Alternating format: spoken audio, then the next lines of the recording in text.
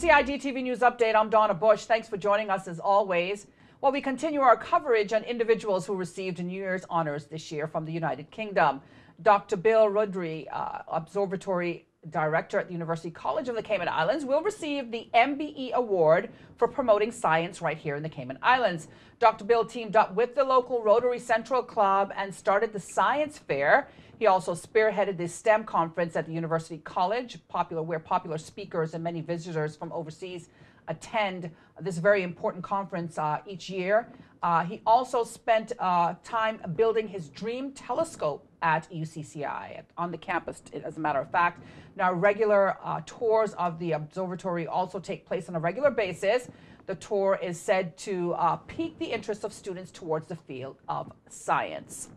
Meantime, we invite you to join us on Thursday evening uh, when we hear more about the third New Year's Honor awardee for 2018. Well, the Department of Environmental Health is asking all residents on Grand Cayman who purchased natural Christmas trees back in 2017 to participate in its annual Christmas tree recycling program. The goal of the program is to reduce the amount of waste entering the Georgetown landfill by recycling the trees into mulch. DEH urges residents to remove all wires and ornaments from the Christmas trees before they're placed into collection bins.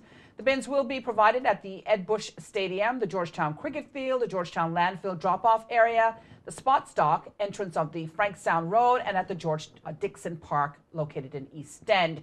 Now you can make drop-offs up, onto, up to January 19th. The free mulch will then be distributed at the Georgetown Cricket Field on Saturday, the 20th of January from 8 in the morning. It is provided on a first come, first served basis. You must, of course, bring along or take along your own shovels and bags to remove the mulch. Well, a generous holiday season donation of $800 will help to purchase a medical grade breast pump for the neonatal intensive care unit located at the Cayman Islands Hospital.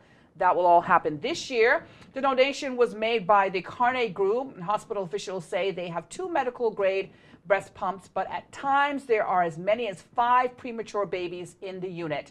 They add that they are grateful for the donation and are planning to purchase the breast pump as soon as possible. For more information on the NICU or maternity units, uh, you can call 244 uh, 2842 or uh, you can visit hsa.ky online for more details. Finally, if you missed today's news update, you can go online to the Cayman Islands government Facebook page or the CIG television YouTube channel. For now, I'm Donna Bush, as always, thanking you for joining me, hoping you'll do the same again tomorrow. Until then, have a safe and wonderful night, and bye bye for now.